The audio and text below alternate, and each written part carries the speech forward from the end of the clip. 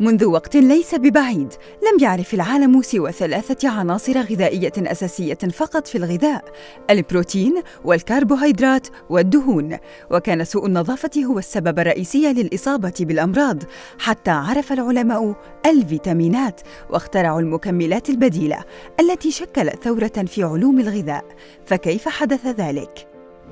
حتى بداية القرن العشرين لم يلاحظ الكثير من العلماء أن خلط الأرز مع الحبوب يؤدي إلى تدمير فيتامينات بي الحيوية ما يسبب ظهور القروح وتلف الأعصاب وأن تعقيم الحليب يدمر محتواه من فيتامين سي ما يسبب الإصابة بالإسقربوط لكنهم فهموا أن نقص بعض المواد في الغذاء قد يسبب المرض وأن الطعام يحتوي على أكثر من ثلاثة عناصر غذائية سميت المواد الإضافية.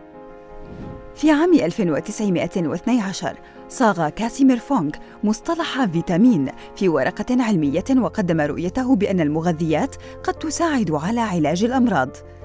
ما أدى إلى ظهور العديد من المكملات الغذائية البدائية مثل فيتامينات الخميرة والخميرات ذات القوة المزدوجة ومركزات الحديد.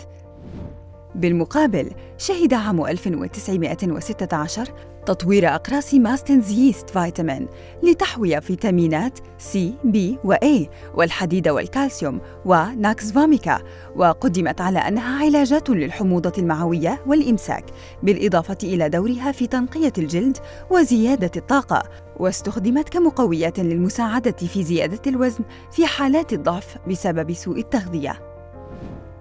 مع انتشار الاستخدام بدأ الأطباء يعترفون بدور الفيتامينات وأيدت الجمعية الطبية الأمريكية مزاعم فونك الذي قدم أيضاً عملية لاستخراج فيتامينات A و D